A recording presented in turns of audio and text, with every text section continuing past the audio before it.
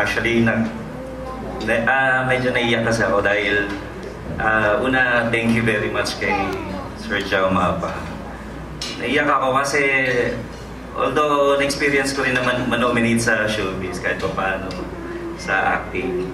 Pero kasi nandito ako hindi dahil sa pagiging actor, kundi sa pagiging environmentalist and advocate.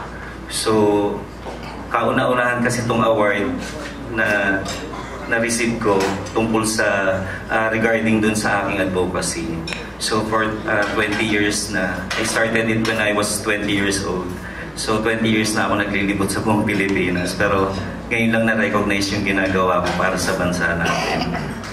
Ah, nakaka nakakaiyak lang kasi Opo, kasi pasensya na. Kasi ah, for 20 years na yan, I've been ah, discovering, as of now, nakaka 1,051 waterfalls na po ako sa buong Pilipinas.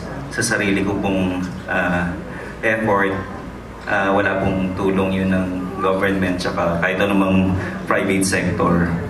Ah, ayun po, sana ah, sana tulungan natin yung bansa natin. So, gawa tayo ng bagay na maganda para sa bansa natin. Mag-iwan din tayo ng magandang legacy para sa bansa natin.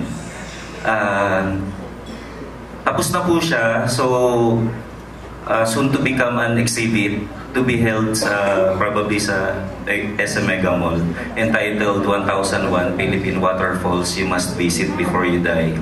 Sana po maka-attend kayo doon. Doon naman sa ah, gusto pong malaman yon, hanapin niyo lang po yung Facebook account ko.